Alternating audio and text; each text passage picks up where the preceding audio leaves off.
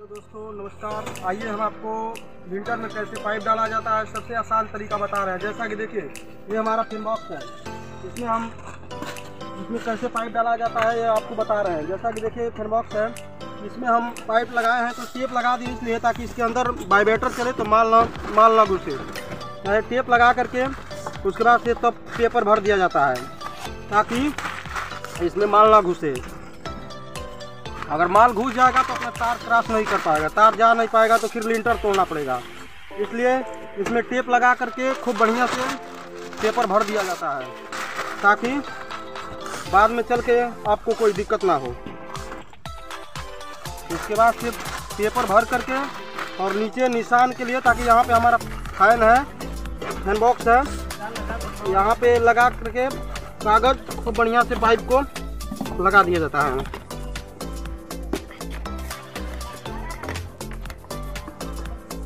होगा। उसके बाद तार लेकर के तार से हम बाँध तार से बाँध लेंगे।